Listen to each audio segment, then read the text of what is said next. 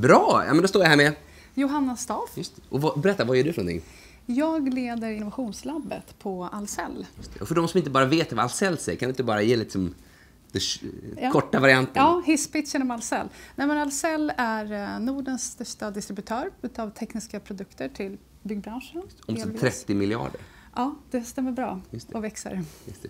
Och du är en person som har jobbat jättemycket innovation i stora organisationer. Ja. Eh, Och nu ska du leda det här innovationslabbet. Då. Ja. Om du skulle bara ge några tips till någon som funderar på att göra ett liknande, eh, starta innovationslabb och driva innovation, vad skulle det vara? Ja. Eh, Om du skulle liksom ge tre korta. Nej, men nummer ett så skulle jag säga fundera igenom ordentligt vad du ska ha innovationslabbet till.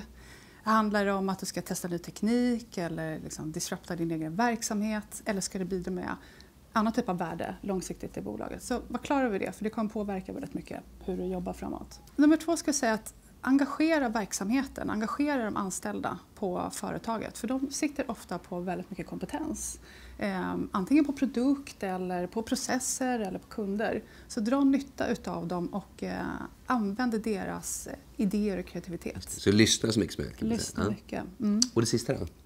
Ja, men det sista skulle jag säga, börja inte med att eh, bygga din organisation Nej. det första du gör. Utan testa din process och testa ditt arbetssätt och se hur det fungerar tillsammans med övriga verksamheten och med partners och olika stakeholders. För det kommer sen att guida dig till hur du ska rigga Så, så gör inte liksom, börja lite försiktigt. Ja, precis. Mm. Ja, men väldigt kloka råd. Och vill man liksom veta mer hur man ska liksom, hur byggvärldens framtid kommer att se ut så, så kan man prata med dig. Ja, då får man prata med mig. Och köp grejer från Ahlsell kan man också Ja, gör det. Bra.